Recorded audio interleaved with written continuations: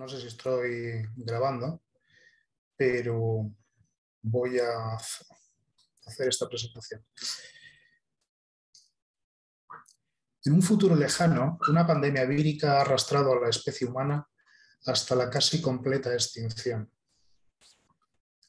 Solo subsisten pequeños grupos aislados que sufren una terrible secuela genética, la ceguera.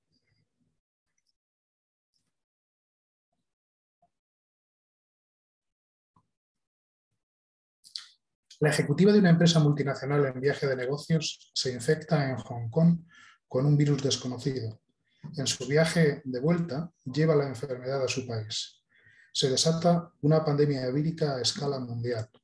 La sociedad sufre un terrible trauma sanitario, económico y social. Hasta aquí la fantasía. Desde finales de 2019, un virus ha puesto el mundo a sus pies.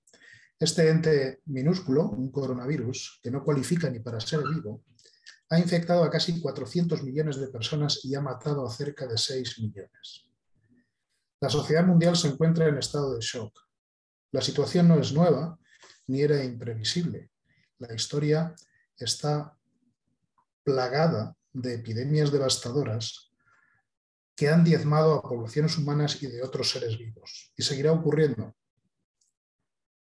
Sin embargo, en un esfuerzo científico y económico sin precedentes, se han producido vacunas específicas de las que se han administrado ya mil millones de dosis.